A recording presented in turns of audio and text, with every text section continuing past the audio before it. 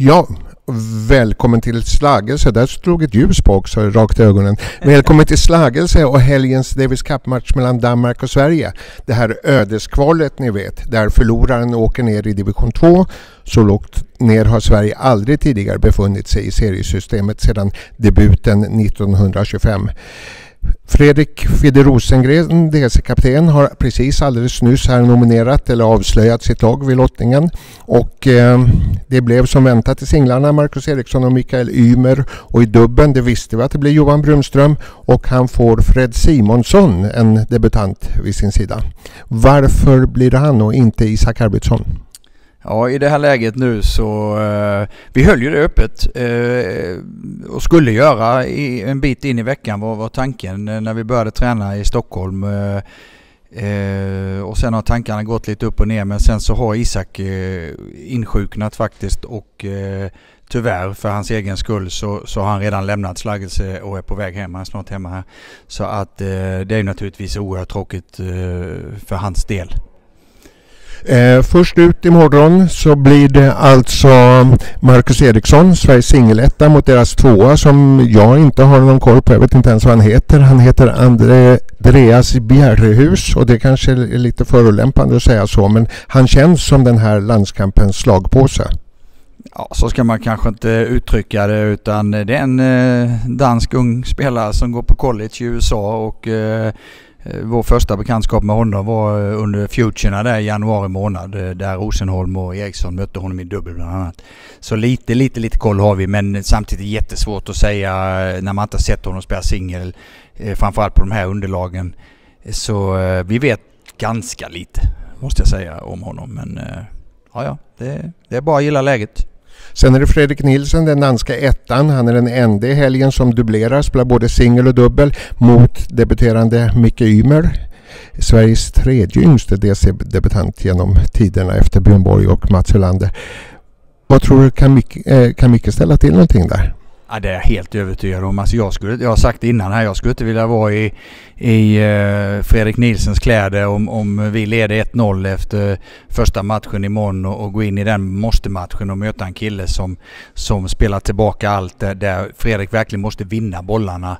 Eh, hemmapublik, måste-match. Alltså Micke spelar fantastisk tennis just nu så att jag, jag är oerhört otroligt confident i, i den matchen måste jag säga. Därför att det krävs så mycket att slå eh, uh, Mikael Yme i tennis just nu. Så uh, det, blir, det blir också en väldigt spännande match mentalt att titta på tycker jag. Så den, den ser jag fram emot uh, mycket. Men som sagt var förutsättningen att Eh, Marcus, för oss är det också en måste-match. Eh, Marcus, vi har inte råd att förlora första matchen imorgon. Eh, det är en sak som är säker så att Mackan måste vara helladdad från start och, och, hitta den där rätta balansen mellan att, att liksom, ha rätt anspänning. Det får inte vara för mycket heller. Som, jag menar, han vet ju hur viktig den är naturligtvis men, men på något sätt så måste man, även om det kanske inte alltid hjälper, säga att det blir det blir lördag oavsett hur det går. Men naturligtvis, vi vet alla hur viktig den matchen är. Så är det bara.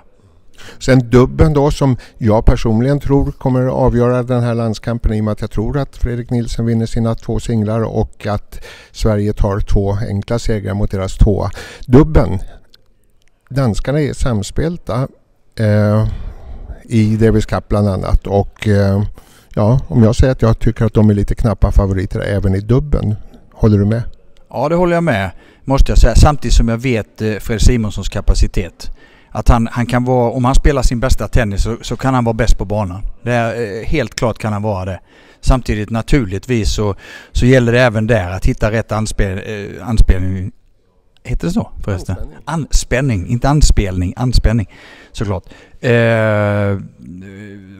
och, och, kan han bara göra det så, så kan han spela otroligt bra tennis. Och sen Johan är i, i jätteform och det kanske blir det avgörande vem av Fredrik och Johan som spelar bäst tennis eh, på lördag av de två. De har vunnit två titlar nu eh, på Challenger-nivå. Eh, så det, det, är möjligt att det är de som kommer vara tungan på vågen eller så kommer det vara vem som är bäst av, av Fred och, och eh, Thomas. Så ja, det är också en, en oerhört intressant match. Det ska bli väldigt spännande och naturligtvis som, som ledare att, att, att få sitta på bänken med, med två nya spelare. det är ju lite det här det handlar om också. Att Davis Cup, det ska vara en sån drivkraft för, för de yngre spelarna att, att ta en plats. Och som Micke sa här innan, jag blev väldigt glad när han sa det, att, att eh, det här betyder väldigt mycket för honom. Och, och eh, då, då, då blir man nästan ännu mer taggad som ledare faktiskt. Jag tycker också det var fint att höra det, för det var på frågan om det här var viktigare eller kändes tyngre på axlarna än Stockholm Open-debuten och det tyckte han just för att han spelar för ett lag och för ett land.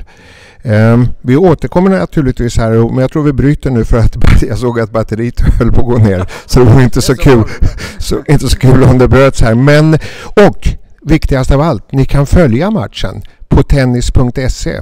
Där kan man gå in och följa matchen, i och för sig med dansk kommentator men eh, det kanske finns någon textremsa. Vi får se. Håll tummarna för Sverige om ni inte kommer hit och heja på svenska laget förstås. För det är, ganska lätt att ta sig hit. Yes. Och ni behöver stödet. Absolut. Absolut.